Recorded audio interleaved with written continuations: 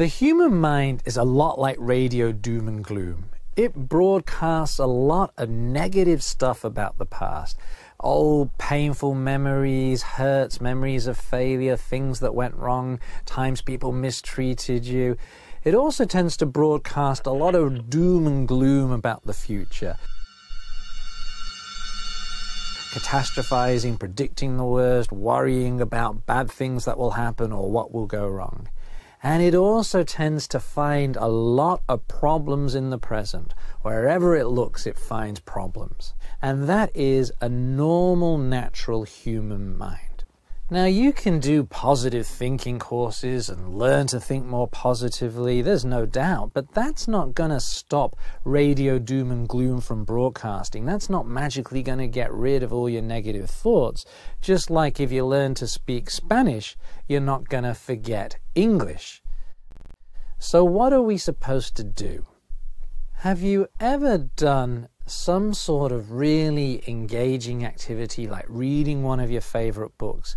and there was a radio playing in the background, and you were so engaged, absorbed in what you were doing, you hardly even noticed the radio was there. It was just playing away. And then maybe one of your favorite songs came on the radio, and suddenly you were really aware of the radio, maybe even singing along with it.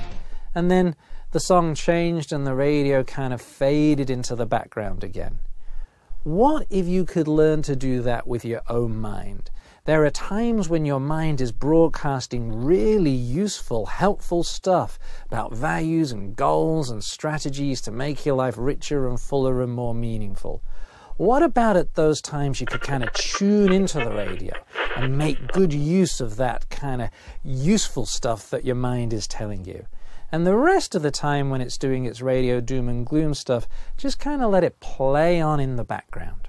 This is very different to trying to ignore a radio, trying to not hear it. Have you ever tried to not hear or ignore a radio, or a loud voice in a restaurant, or a lawnmower outside your house? Isn't it the case the more you tried to ignore or not hear it, actually the more it bothered and disturbed you? It's also very different to bringing in a second radio trying to drown out the first one.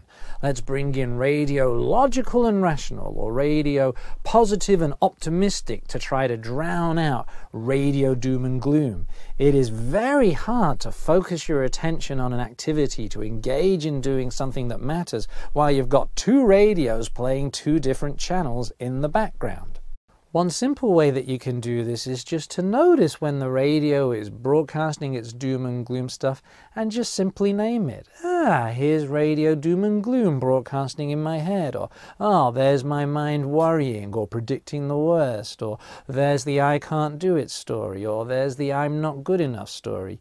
Whatever it is that radio's doing, just non judgmentally notice it and name it. So we don't get into a battle with these thoughts, we don't try to run away from these thoughts, we don't get swept away or bogged down with these thoughts. We just let them come and go like a radio playing in the background, and instead we focus our attention and our energy on living by our values, doing things that help us to create a rich, full, and meaningful life.